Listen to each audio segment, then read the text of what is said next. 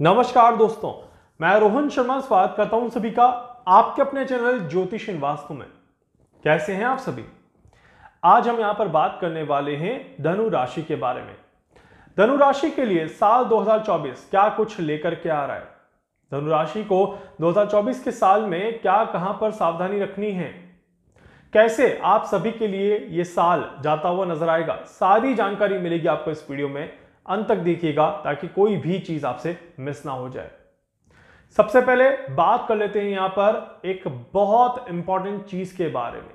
धनुराशि, ये 2024 का जो साल रहेगा, इसमें आपको एक महत्वपूर्ण चीज़ का विशेष ध्यान रखना है।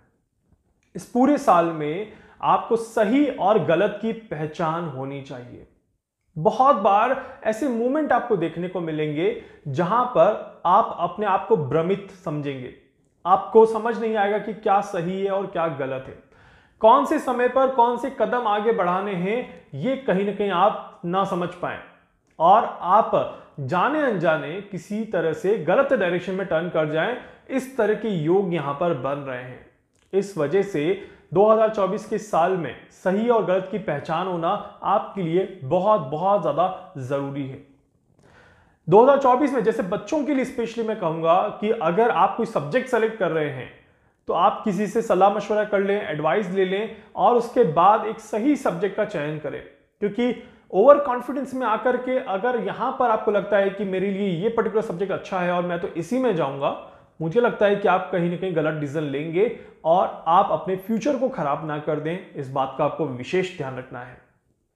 तो इसी तरह से इस पूरे साल में कई बार, कई सारे ऐसे मौके मिलेंगे आपको, चाहे वो जॉब में हो जाए, चाहे वो बिज़नेस में हो जाए, चाहे वो रिलेशनशिप में हो जाए, चाहे वो एजुकेशन में हो जाए, जहाँ पर बार बार गलत निर्णय की वजह से आप अपने आप को गिरा सकते हैं।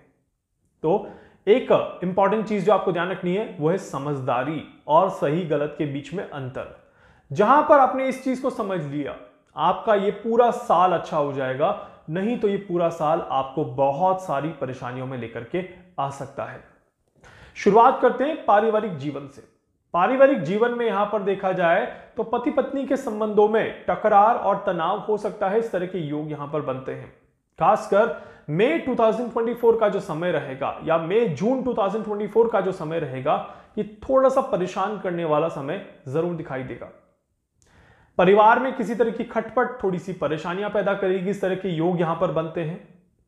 शादीशुदा हैं अगर आप तो आपके अफेयर होने के चांसेस भी यहाँ पर बनते हैं और अफेयर पकड़ा सकता है इस तरह के भी योग यहाँ पर दिखाई दे रहे हैं। तो इसीलिए गलत डायरेक्शन यहाँ पर मिलेगा आपको, जहाँ पर आप गलत गतिविधियों में अपने आप को इन्वॉल्व कर सकते हैं। परिवार से छुप करके, छिपा करके कोई काम करने की कोशिश कर सकते हैं, इस तरह के योग यहाँ पर बन रहे हैं। इसी के साथ साथ बहुत स्ट्रॉन्ग चांसेस है कि आप किसी अपने को धोखा दें। इसीलिए धनुराशि ये गलती ना करें।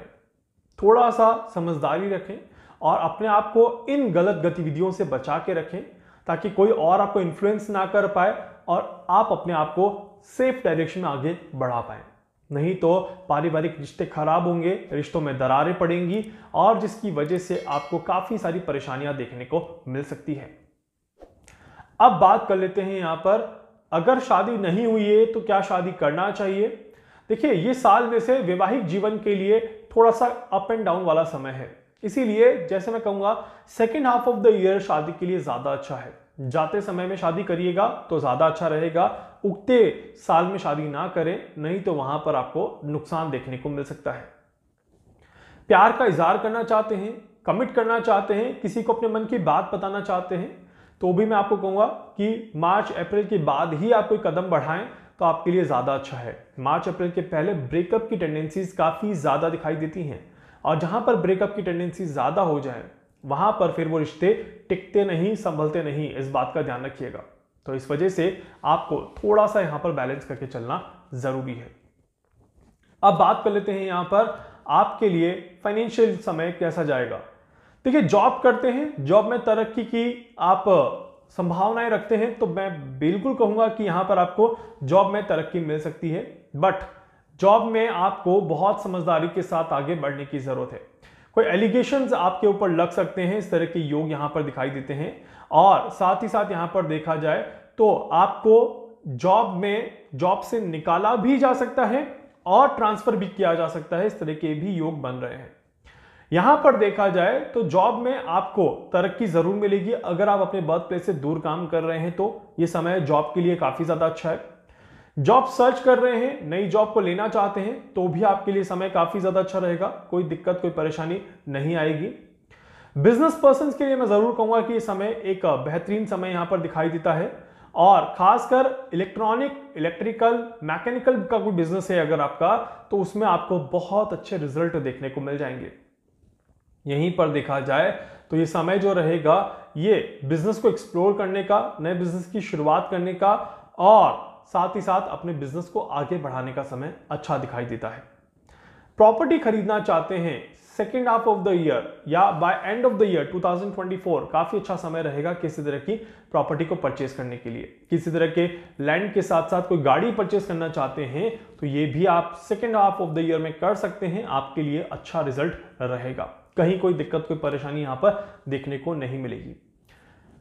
विवाह के बाद संतान की कोशिश करते हैं तो इस साल में आप ज़रूर कोशिश कर सकते हैं। पारिवारिक जीवन को अच्छा बनाने के लिए ये एक बड़ा अच्छा कदम रहेगा, जहाँ पर आपका परिवार बैलेंस करेगा और परिवार बढ़ेगा। इस तरह के योग यहाँ पर ज़रूर दिखाई देते हैं।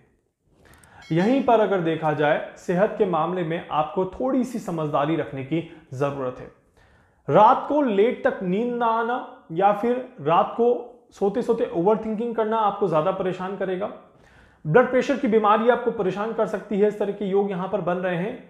और इसी के साथ साथ मैं आपको ज़रूर कहूँगा कि आपको गाड़ी चलाते समय पूरी तरह से सावधानी रखनी चाहिए, ताकि आपको किसी तरह की कोई दिक्कत, कोई परेशानी ना देखने को मिले। यहीं पर आपको पूरी तरह से अपनी हेल्थ का ध्यान रखना है। छोटी सी भी लापरवाही आने वाले भविष्य में बड़ा नुकसान देगी, इस तरह के योग यहाँ पर बन रहे हैं। सो छोटी छोटी चीज़ों को लेकर के सचेत रहें। बहुत ज़्यादा अच्छा समय आपका जाता हुआ नज़र आएगा। बच्चों के लिए काफ़ी ज़्यादा अच्छा समय है, अगर उन्हें सही डायरेक्शन मिल जाए तो। अगर आप सरकारी नौकरी के लिए तैयारी कर रहे हैं, सरकारी एग्ज़ाम्स की तैयारी कर रहे हैं तो आपके लिए काफ़ी अच्छा समय रहेगा। इस साल में कई मौके हैं जहाँ पर आपको सरकारी नौकरी लग सकती है, आपका नंबर आ सकता है, इस तरह के योग यहाँ पर बनते हैं। शुरुआत का समय बहुत अच्छा है मेहनत के लिए। फ़र्स्ट सेकेंड और थर्ड मंथ जो रहेगा 2024 का ये एजुकेशन के पर्पज से काफ़ी ज़्यादा अच्छा दिखाई देता है। पर उसके बाद आपको थोड़ा सा संभल कर चलने की ज़रूरत है और उसके बाद बच्चों को एग्ज़ाम पास करने में काफ़ी ज़्यादा मेहनत करनी पड़ेगी। इस तरह के योग यहाँ पर दिखाई देते हैं। सो so, ओवरऑल पूरा साल अच्छा है। बस थोड़ी सी सावधानी आपको रखनी है जिससे कि रिलेशनशिप खराब ना हो। ऑफ़िस में जॉब में किसी तरह की कोई उलझने आपके सामने ना आए और आपका पूरा साल आराम से निकल जाए। किसी तरह की कोई नेगेटिविटी आपको देखने को ना मिले।